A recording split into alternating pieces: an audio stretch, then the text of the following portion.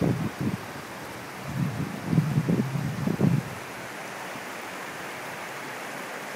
another beautiful day for Brandywine gorge. Is that not magnificent?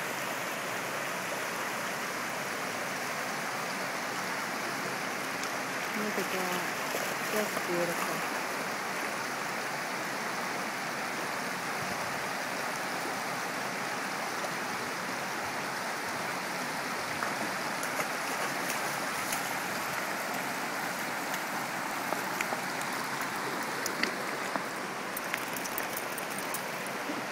There's Jesse. On the water, Jess.